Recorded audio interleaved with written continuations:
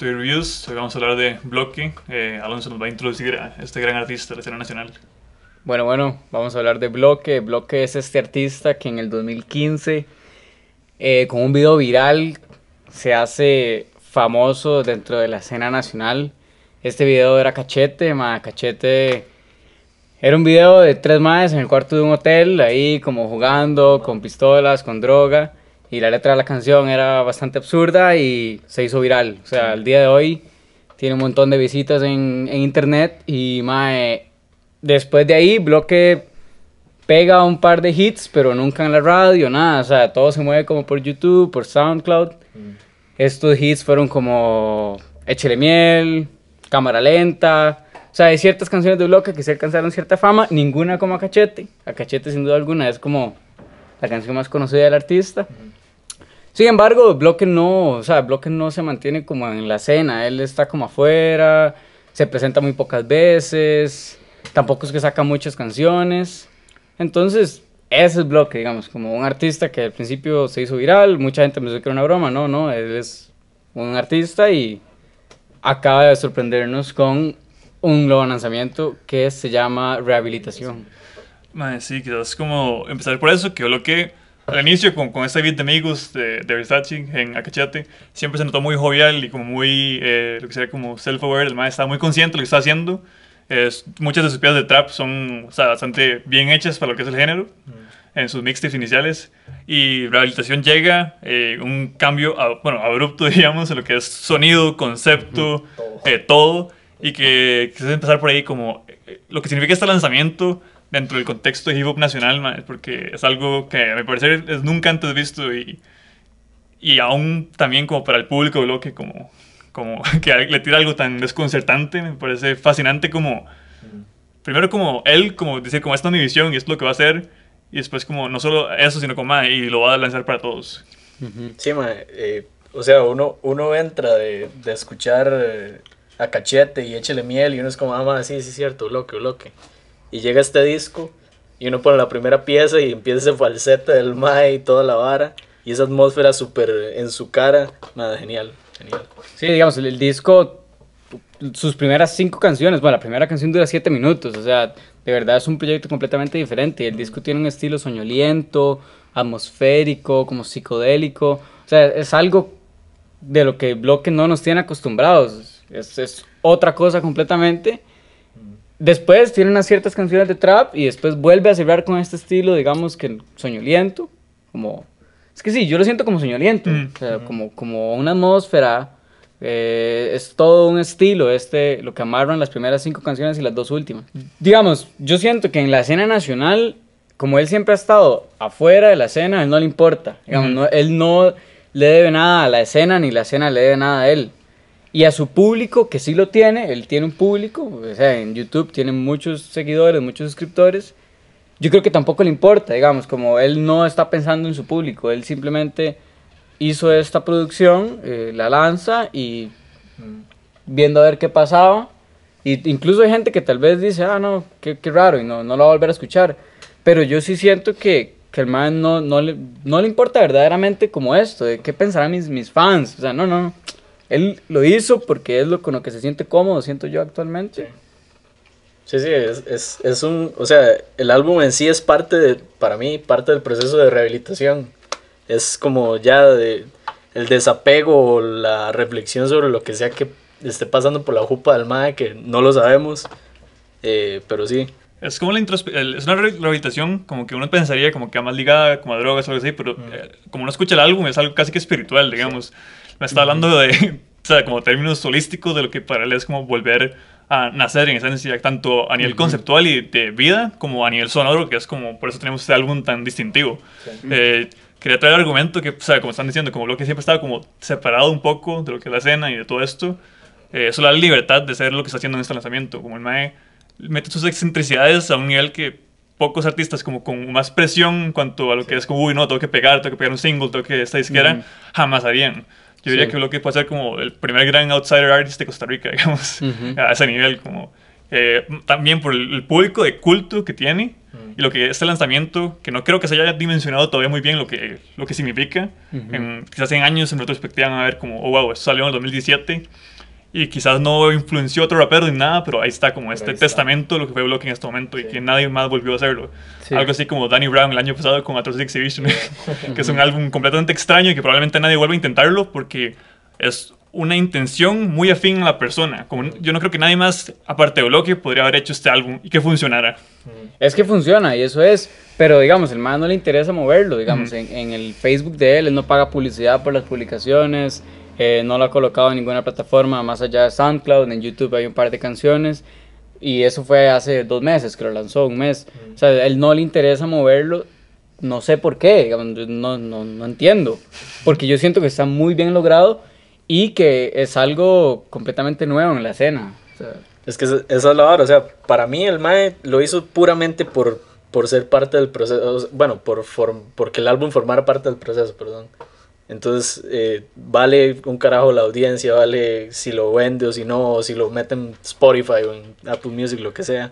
Nada más como para que el Mae lo hubiera hecho o, lo tenga ahí, es como Mae, yo hice esto. Sí, de hecho, dentro, el, bueno, lo que no, no suele dar demasiadas eh, como eh, publicaciones sobre lo que piensan y así, eh, tener interacciones en Facebook como con sus seguidores. Hay una respuesta que me, me, llamó mucha atención, que era como a una fanática que le preguntaba como, hey, lo que qué pasó con el trap alegre y todo esto, y le dijo como es que a veces hay que dejarlo salir, digamos. Yo como, ok, en serio, en serio, eh, tiene como una necesidad casi de catarsis de hacer esta música eh, melancólica, eh, soñolienta, como usted mencionaba antes, y es lo que para el Mae en este momento está enfocado en eso. Mae. Y es que yo creo que es eso, que es catarsis, porque digamos, hay un contexto, Bloque vivía en el Valle Central y el Mae se muda a su natal Jacó, que es de donde, bueno, muchas canciones de él habla de Jacó porque es su pueblo, y el mae desaparece de Snapchat, desaparece de Instagram y él hacía una publicación cada mes y se notaba que estaba como en algo espiritual, me acuerdo que nada dijo como que había alcanzado la quinta dimensión, una cosa así. Entonces, sí, es catarsis, sin duda alguna, algo está sucediendo en la vida del artista y lo plasma en, en, las bases que usó y en la lírica también. Quizás como con eso podemos ya hablar como de canciones específicas, como para ustedes, ¿qué eh, temas definen este lanzamiento? Ok, si quieres hablar vos. bueno, eh, para mí, de, la mejor, de las mejores piezas, innegablemente es Protección. O sea, es la perfecta introducción a un álbum poco esperado y sorpresivo para, yo creo que todos los que conocíamos algo de Bloque.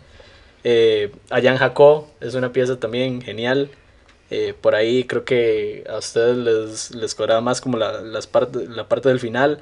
A mí sí me, bueno, tal vez no me cansa, sino que eh, me parece como muy reiterativo un toquecillo, como eh, la parte de... Eh, la parte más soñolienta ahí al final del álbum, igual es parte de la, de la estética del álbum, entonces todo bien, pero sí, creo que esas dos piezas, voy a, revisar más el, el tracklist. para mí, por ti es uno de los puntos altos también del lanzamiento de entrada en cuanto al concepto que hemos hablado montones. La apropiación de la, apropiación de, que es algo que durante todo el lanzamiento, como los beats que él me apropia, son súper oscuros. O sea, en ese uno nota que es Lana del Rey, hay otro que yo siento que es como, no sé si es directamente Led Zeppelin, pero como un sonido así, como muy oscuro y en general casi que post-punk en muchos momentos, digamos. Sí, no, en definitiva. Suena como, como si el más estuviera escuchando Ice Age y dijera como, ah, voy a hacer algo por, por ese lado, digamos. Y eso mismo, que lo que es tan eh, recatado en su, en su figura artística, digamos, y como tan ecléctico, hace como que para mí le agregue más intriga al lanzamiento, como, ¿de dónde habrá sacado esto? Mae, como, como habrá definido como, ah, sí, yo quiero rapear, ni siquiera rapear, como quiero cantar sobre este, este, este beat, mae. Sí. Sí, digamos, no sé si es ignorancia mía, pero yo no logro identificar todas las bases del disco. Definitivamente no, no tengo idea, más allá de la de Lana del Rey. Y, y, son bases oscuras, son bases psicodélicas. Eh, hay unas como pop, funk, o sea, Así Soy es una pieza que, que mete como elementos funk. Entonces, yo creo que el disco en realidad tiene de todo. Y a nivel lírico, eh, ok, sí hay piezas que reiteran en lo que estamos acostumbrados, drogas, mujeres, eh, plata, alcohol, etcétera, etcétera, en la playa, fumar, todo.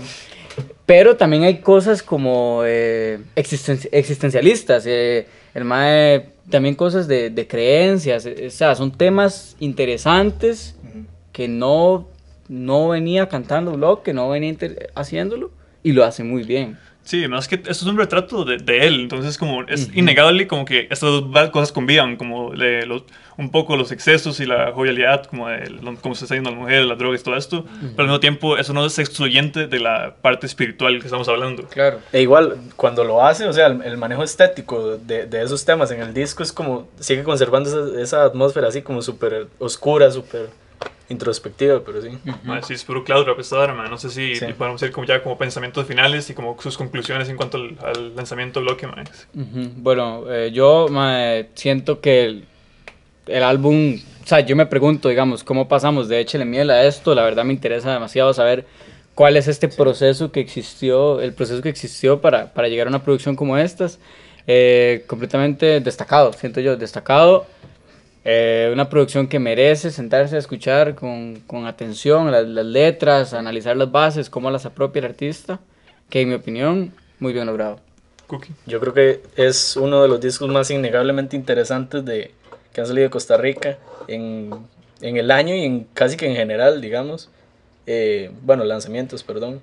Y más aún considerando trabajos pasados como en, en ese género, en ese nicho en específico, digamos.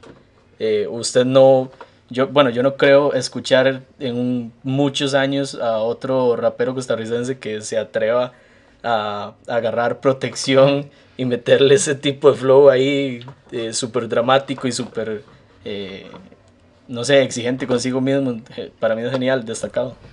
Ma, es- sí, o sea, esto que están diciendo como que, que, que este lanzamiento salga y como seguro mucha gente lo desestima de inicio como, ah, mira, el bloque seguro es como música de fiesta y todo eso y que el mae le da vuelta a esa expectativa Sí. y lo lleva a uno por, por una o sea, que es, larga, es como una experiencia inmersiva, o sea, uno se siente metido en este mundo, como este cloud, cloud rap super hazy de la vara, mae. Y de principio a fin, eh, quizás como eh, hacia la segunda mitad no es tan directa como los primeros cinco temas, que para mí es una seguilla así casi que perfecta de canciones. Los Sí. primeros cinco temas amarran. Amarran a la perfección. Sí. La segunda mitad también es muy buena, eh, quizás no tan directa, pero aún así eh, culmina de gran manera con el último tema con trauma. Eh, ma, sí, es bloque de construyendo lo que es el hip hop en esencia. Y a nivel nacional, como está diciendo, no sé eh, cuando alguien dimensione realmente lo que pueda significar este lanzamiento, porque nunca nada se ha escuchado así y no sabemos si se vuelve a escuchar así. Exacto. Va a ser muy interesante ver qué hace lo que después, más. Pero sí, de fijo destacado, más. Sí, escúchenlo. sé que suena extraño quizás como decir, como, madre, tiene que escuchar este lanzamiento, pero, Pero si, hay, si hay alguno, más, escuchen esto. Sí, y- que el mal la dejó picando. Ahí Sí, va. sí, lo, lo disfruten o no, de fijo es una experiencia que tiene que Ujú. experimentar, más. Entonces, sí, ma, pura vida. Love to Hate Reviews, bloque. Saludos a Fran.